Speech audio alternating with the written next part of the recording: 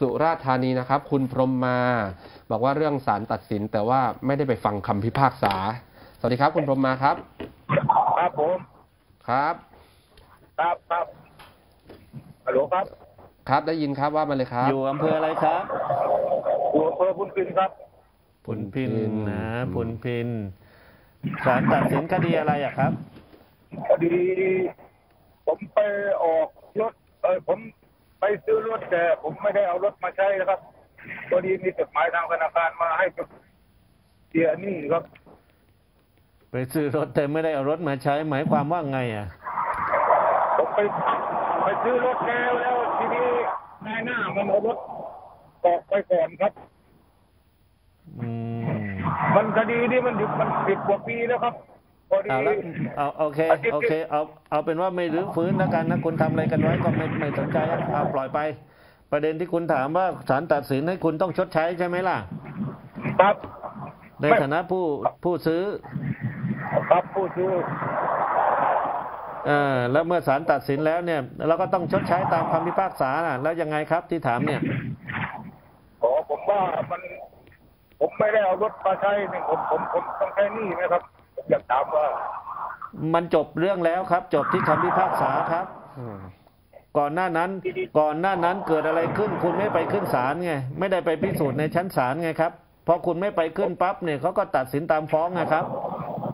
อ๋อเออเพราะคุณไม่ไปขึ้นศาลน่ะ ตอนที่เขามีหมายศาลมาให้ไปขึ้นศาลว่าคุณถูกฟ้องกรณีดังกล่าวนี้ ถ้าคุณไปขึ้นศาลคุณก็ไปแก้ต่างในชั้นศาลใช่ไหมว่ามันเกิดอะไรขึ้น อ๋อครับครับคุณซื้อรถคุณไม่ได้ใช้รถนี่ รถอยู่กับใครล่ะ แต่ปัญหาว่าคุณน่ะเป็นผู้เช่าซื้อใช่ไหมครับผู้เช่าซื้อครับชื่อมันติดชื่อผมครับ ใช่ พอถึงเวลาเขาก็ต้องฟ้องคุณ พอฟ้องคุณเสร็จปั๊บปรากฏ ฟ้องคุณให้ชำระหนี้นะครับ เช่าซื้อที่ว่า แต่นี้คุณไม่ไปขึ้นศาลไปไม่ไปขึ้นศาลก็ไม่รู้ว่าเกิดอะไรขึ้น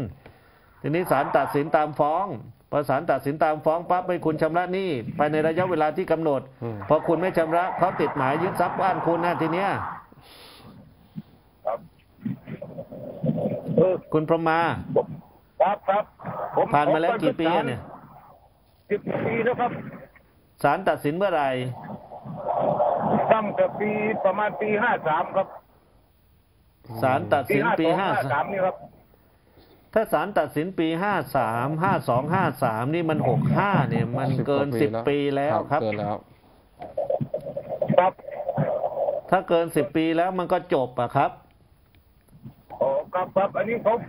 โทรมาหาผมธนาคารโทรมาหาแต่ว่าเขายังไม่ได้ทวงหนี้อะไรแล้วครับ แต่ว่าเขาโทรมาถามผมว่ารถยังไม่ได้เข้าบริษัทนี่ครับ ไม่รู้ผมผมเขาแจ้งมาถามว่าไม่รู้นะ ไม่รู้นะ อันนี้ อันนี้มันถึงบัธนาคารก็คือผู้ที่ฟ้องคุณใช่ไหมล่ะ ครับครับธนาคารธนาชาตินะครับ เออ ธนาชาติฟ้องคุณ ทีนี้ในทางอาญาเขาฟ้องคุณหรือเปล่าไม่รู้